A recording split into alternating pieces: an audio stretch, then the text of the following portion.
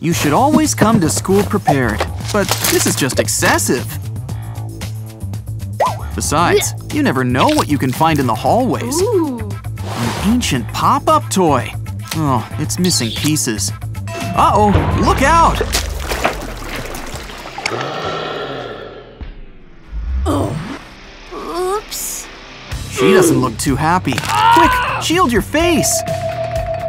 Maybe it's just me, but she doesn't seem like a very nice person. Aw, don't cry. This'll cheer you up. Huggy Wuggy's in the bonus at the end. Hmm, Waste Not, Want Not comes to mind. Hey, who invited her? What a cute little pig. You think this'll help her distress? Well, at least she has a smile on her face. For now. Maybe she could make something instead. Ugh, does she have to use old gum? Well, an old balloon, hot glue, and a phone can all work wonders. It's a cute little egg, but she should still probably wash her hands. Oh, now she likes Pop-It toys. Hmm?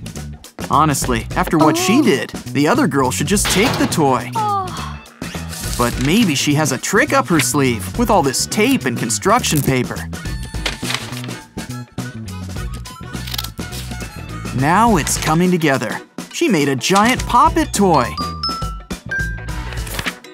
It's easy to pop, but can you push them back into place? Ooh.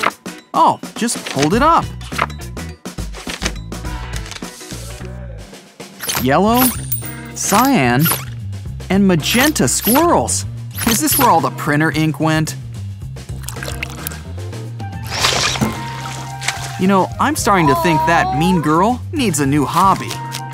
Uh. huh? She's got the right idea making all these crafts. You know, doing something constructive.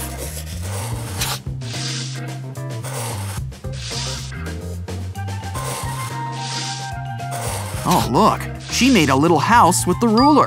Cut out a hole in the middle. Add our cardboard roll and a balloon. And add those final touches. Add a face, and it's kind of like a little doghouse. How cute. Ooh. Squishy pigs, squishy squirrels, now cake. Anyone sensing a pattern here? The key here is to think squishy. Any marshmallows? Even better, a sponge. And she's made it into a donut, which is also normally squishy. Mmm, pink frosting and sprinkles. It's Homer Simpson approved.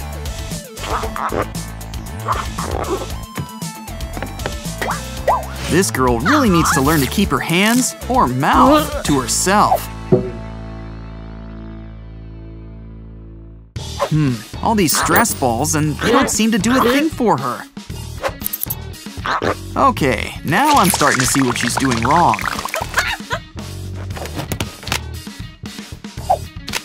You know, no one said we couldn't use leftover parts for our crafts.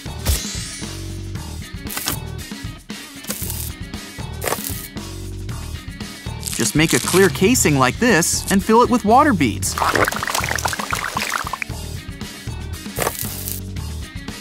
It's nice and squishy and would also make a great valentine. Ooh. You know, for once, I think I'm on the same page with her. Hmm. Aw, some nice little hearts will liven things up. Making art on paper. What a novel idea. Glad I thought of it.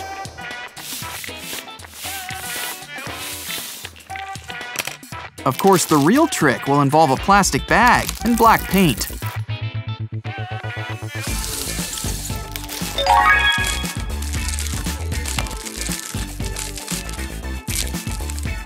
Tape the bag around the paper and add a border around it.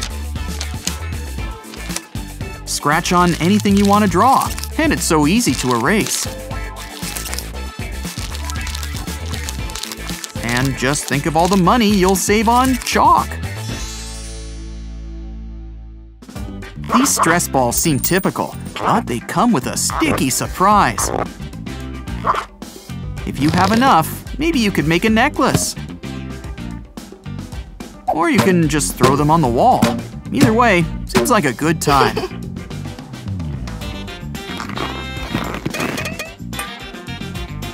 Oh, that was pretty nice of her. Ooh. Unless she's up to something. I called it. Oh.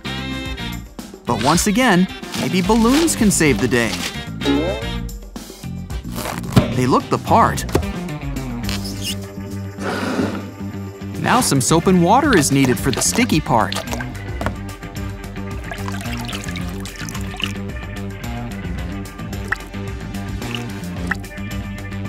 Put your hands into it. They each need a nice good dunk. Give them a nice pat, and voila! They all stick to each other.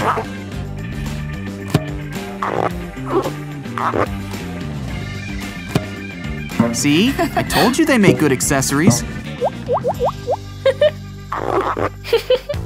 It looks like you can make a bunch of different shapes with this.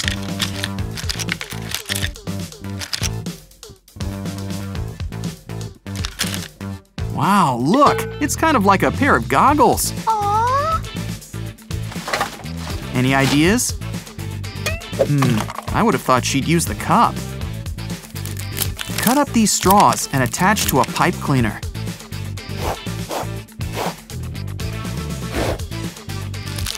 And you'll have a similar material to the toy.